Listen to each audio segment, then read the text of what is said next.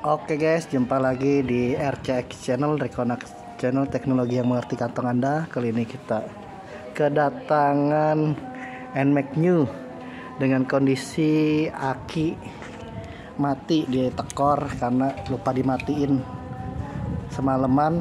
Nah ini dia cuman ada remote doang guys. Sedangkan kita nggak bisa buka jok karena di jok itu harusnya kan bisa dibuka dari bawah tuh kuncinya. Tapi kuncinya hilang guys. Kuncinya hilang jadi cuma ada remote doang. Kita ngakalin tanpa buka body body sini nih yang ribet. Kita nggak buka body belakang ribet untuk narik. Kita ngakalinnya gimana caranya? Nah ini kita ada trik baru guys. Bukan trik baru sih udah lama ya. Tahu udah saya sih nemuin sendiri ini cari yang main ini nih. Buka cover depannya. Cari sikring nah sikring ini cari yang main. Main tuh utama.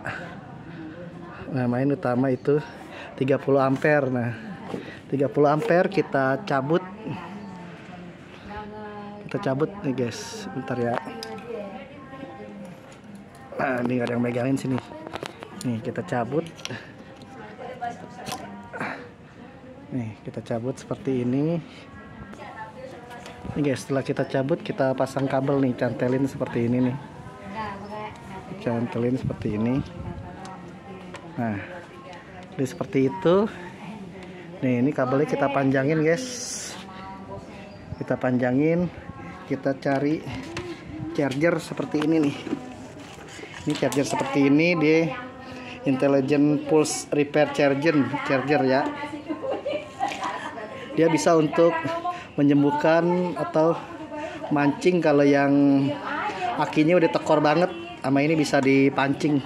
Dia akan um, akan menginin ampere yang gede. Nah tadi kabel yang tadi itu kita colokin ke plus.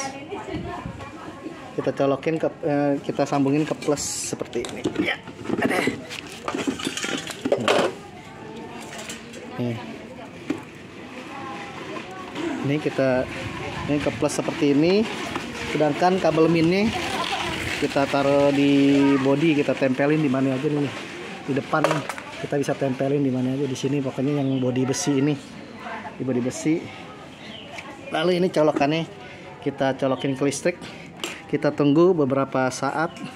Nanti akinya akan ngisi guys. Akinya akan ngisi baru kita pancing.